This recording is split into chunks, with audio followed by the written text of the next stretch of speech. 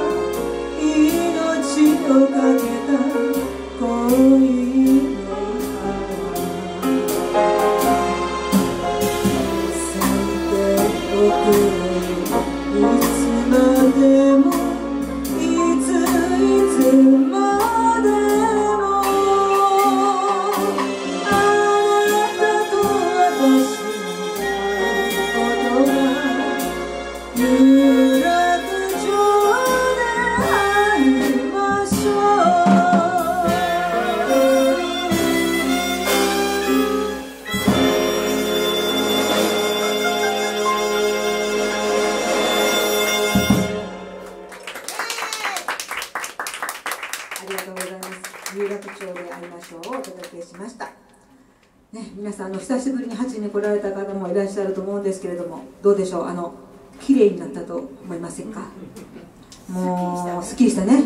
あの緊急事態宣言が出て、そしてあの休業要請がありまして、八もお休みになりました。その間にね、もうすごい頑張って片付けまして、でマスターはね、もうやるとなったらとことんやるたちなんでもんで、はい、その電気のねこの傘とかも全部変えて電気も全部外して配線もし直すというね全部一人でマスターが。えすごい。そうなんですよ。すごい。すごいんですよ。そしてもうカウンターのあたりなんかちょっとおしゃれな本当に大人のね雰囲気を漂う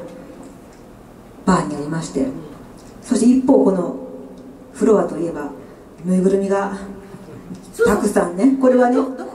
これはね私があのあちこちからさらってきたんですけれども、はい、あの座ってはいけない席というのがねあるんですよ。そのステージからこうこんなに離れないといけないとかね隣同士でも座ったらあかんとかある程度席開けてくださいとかいうのがあるんですけれどもそこにねぬいぐるみたちをこう配置いたしましてそしたらなんかものすごいぬいぐるみの存在感がね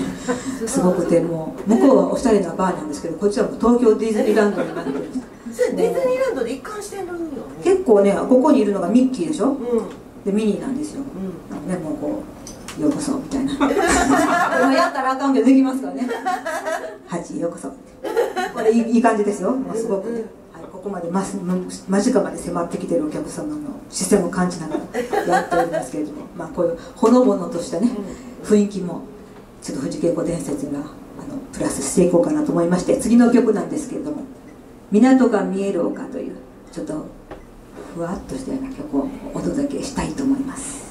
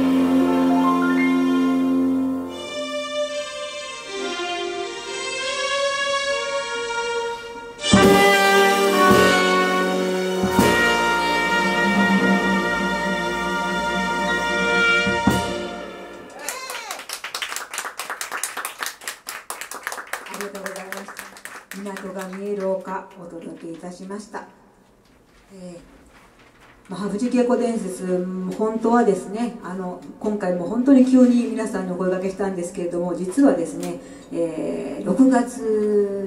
にもねあのライブをしようと計画はあったんですけれどもまあね自粛中ということもあってなかなか練習も進まないし、えーということで一回飛びましてですねそしてその間もリハーサルを重ねてましてそしてまあ新しいアレンジとかいろいろありましてそういうのがまとまったらやろうっていうことでで決定したのが一昨日あの 最終のリハーサルをしましてそこでまあ音楽監督の生捨さんがですね「ゴー!」って言ってね「ゴースターに出ましたんでよしやろう!」ってことで慌ててそれから告知いたしましたが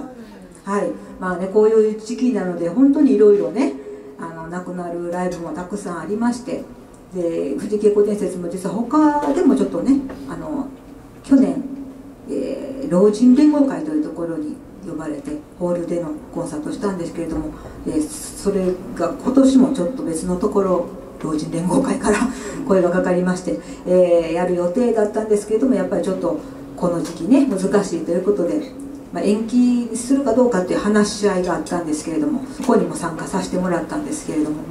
で結局まあやりたいやりたいっていう気持ちも向こうの方はあるんですけれどもやっぱりこの状況だからやっぱりもうねまた来年にしましょうよ。っていうふうな話をねこちらからはもう来年でもいいんじゃないですか。っていうふうに言ったんですけれどもそしたら向こうねあの老人会ですから、まあ、高齢の方多いじゃないですか。今危ないと。だからもう来年しましょう。って言ったらねいや来年になったらおらん人もおるからって言われたんですよ。うーんって深いなと思って。あのまあ何ですかあ刹那的に生きるっていうのは若者の特権じゃないんだなっていうのが思いましてやっぱりあの高齢の方もすごい刹那に生きてるんだなっていうのが分かりまして一瞬一瞬をね大事だとやっぱり命大事だなと思いました。ということで次の曲は藤恵子さんのオリジナル曲でございます「命預けます」というね曲をお聴きいただきたいと思います。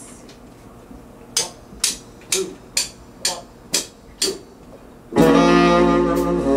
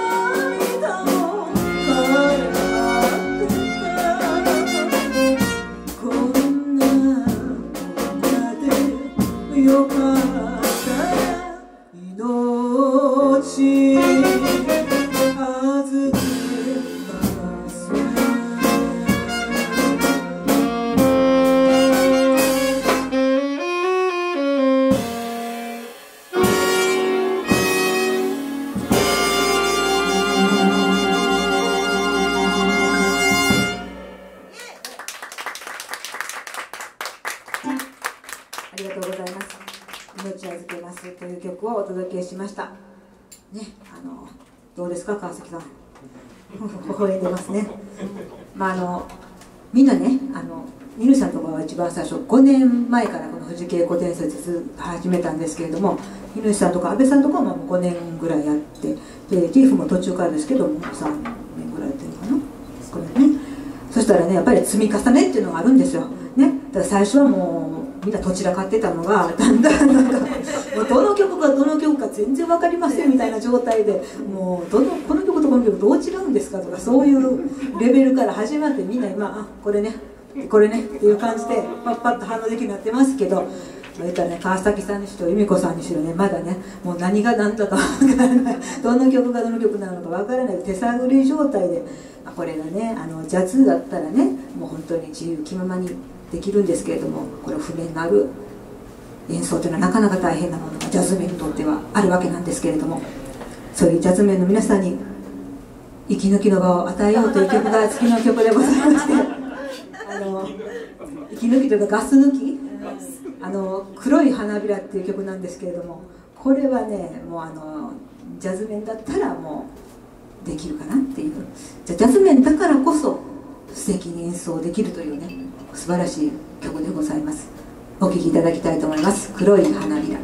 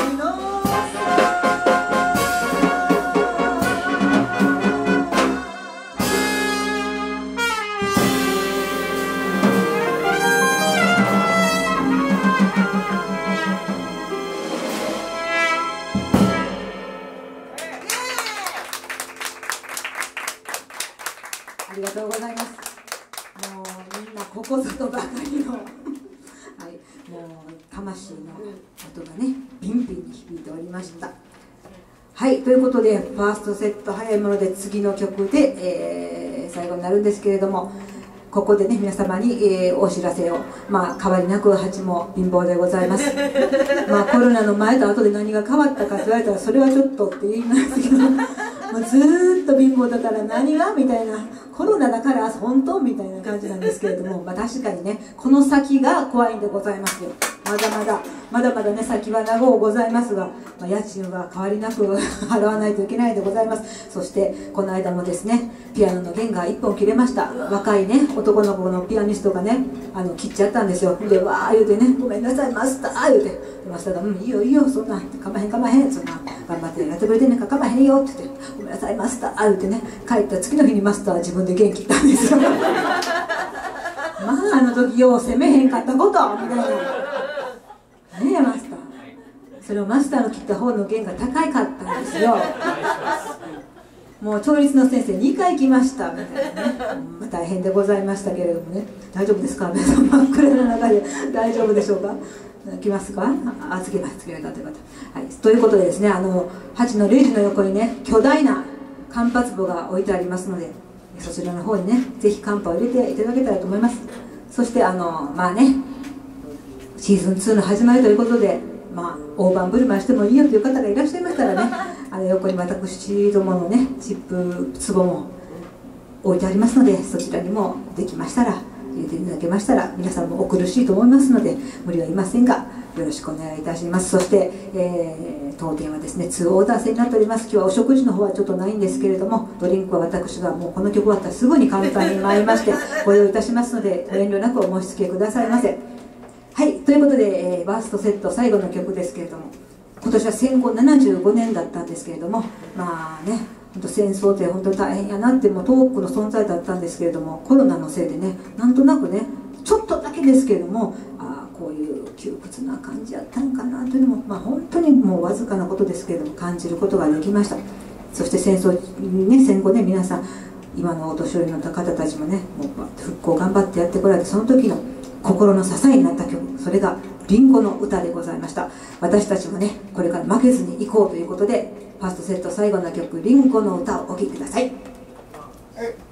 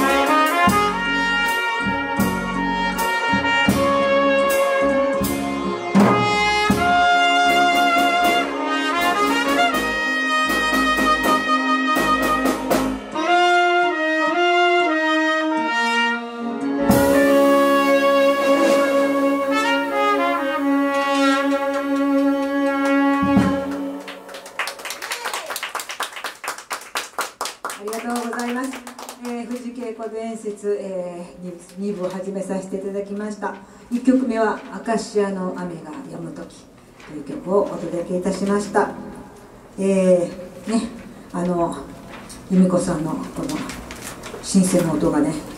あのオリジナルの藤恵子さんの音源にぴったり合ってる。ありがとうございます。まあ、由美子さんもあのクラシックとねジャズが本当に専門といいますか、ピアニストっていう感じのねご自分のオリジナル曲を演奏するバンドを初めてもやっていただいてるんですけれどももうそれもヨーロピアンな感じのすごい綺麗な曲が多くて、えーそこからこの、ね、次にやる曲がですね「いたこ傘」すいません。由美子さんもまさかいたこ傘をね演奏するとは。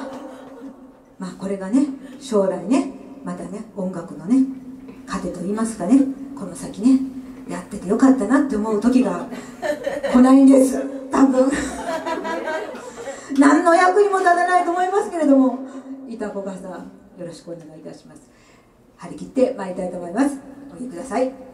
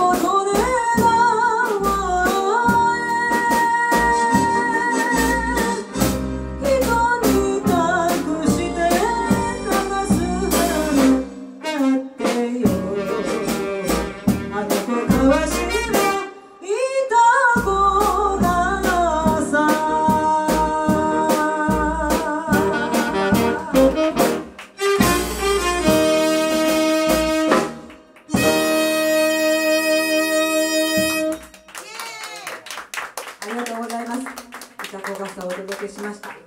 えーそれではこの板子傘に付き合ってくれた素晴らしいメンバーをもう一度紹介しておきたいと思います。オントランペット、阿部康成。オンテナーサックス、川崎忠宏。オンベース、市原弘和。オンドラムス、乾育児。オンシンセサイザー、中川由美子。そしてオンピアノ総合プロデューサーナマステそしてボーカル秋田元明でお届けしております。はい、えー、板子傘に続きましておとお届けしますのはですねこれもまた古い曲なんですけれども「カスバの女」という曲でございます。これはまたねあのしっとりとしたやっぱりジャズのね暗い感じに合うような曲でございます「カスバの女」お聴きください。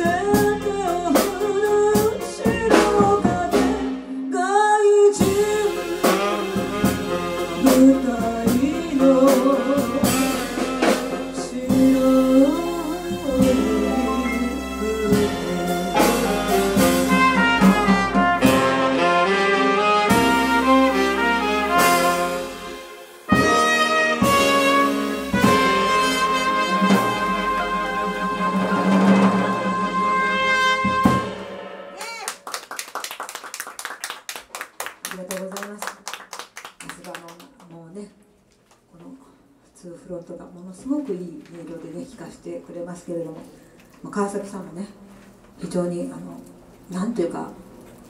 色っぽい音色でね。もうえばっちりこの藤恵子伝説の世界に合ってる。演奏はもうすごいんですよ。しかし。私この川崎さんってこれまでね、まあ、バンドやる前まではねこうなんていうんですかねしっかりした人、ね、真面目な人。きっちりした人っていうねイメージがあったんですけれどもね。ステージ上でそうです。来ました。私の得意技ステージ上でのダメ出しが始まります。ここから。まあびっくりしたというの。はもうリハーサルに譜面全部忘れてくる。なおかつリハーサルの日をスケジュール帳に書いてない。この忙しい人たちみんなねスケジュール合わせてあこの日リハーサルしようって言ってる。あその日僕いないか。いないかもってないね。なんかどういうことやねん。子供と一緒に四国にうどん食べてそんなもん早く帰ってきてよ。夜やんかリハーサルなんか。昼間うどん食べときや。わかりました。この人スケジュールを手帳に書かないんです。びっくりして。あこれまでのイメージがガラガラと。もうこんなにポンコツだと思いませんでした。大丈夫？若干の不安を持ちながらシーズン2運行しておりますけれどもまあね明るくいきたいなと思っておりますのでここで景気のいい曲を一発「銀座カンカン娘」をお聴きください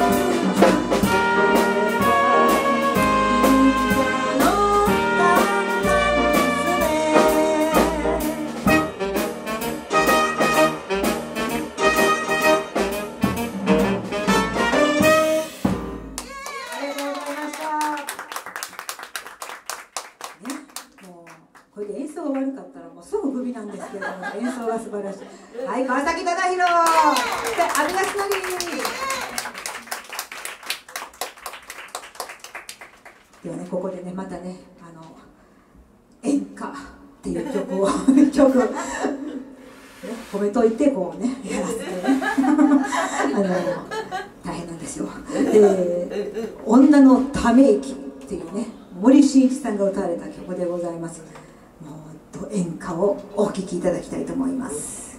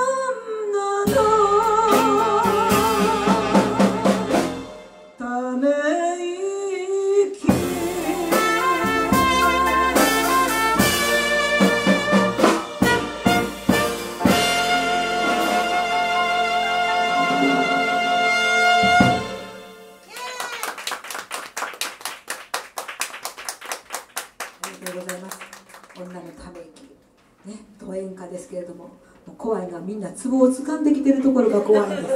もうね、素晴らしい進歩でございます。はい。ではね、あの、数セット目もいよいよ最後の曲になります。えー今日はねシーズン2の船出ということで皆さんもたくさん駆けつけていただきまして本当にありがとうございます、えーお帰りの際にはね先ほども申し上げました通り、レジの横に何かがありますので。ね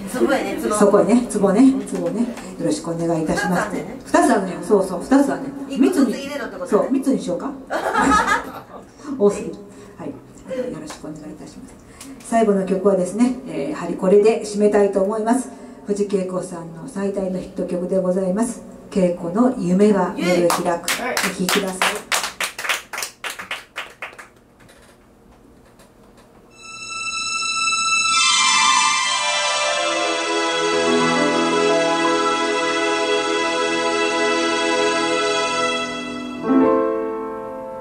赤く咲くのは消しの花白く咲くのは百合の花どうかきいいのさこの私夢は夜151617と私の人生暗かった。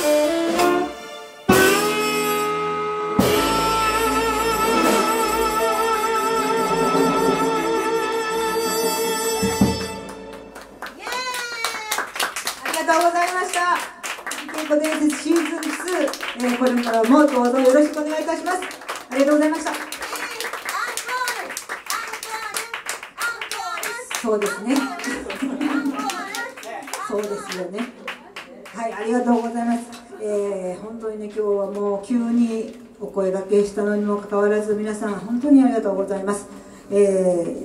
ー、実は明日8月22日は藤恵子さんの命日なんですね。はい。でそれで、まあ、今日の日にちを、まあ、だいぶ前にね決めてたんですけれどもできるかなどうかなと思ってたんですけどもみんながすごくね頑張ってくれて今日の日を迎えることができました、えー、そして来ていただいたおかげでライブが成立することになりました。皆さんも本当にありがとうございます。まああの皆さんも本当にね言わずもがなで今日のこのステージはずっと藤恵子伝説を見てきてくれた人たちに、えー分かっていらっしゃると思います。メンバーの一人一人にも、まあ、いろんな思いがあってこの日を迎えることができました。これからもね、えーみんなで頑張っていきたいと思います。最後にお聴きください「星の流れに」という曲です。今日は本当にありがとうございます。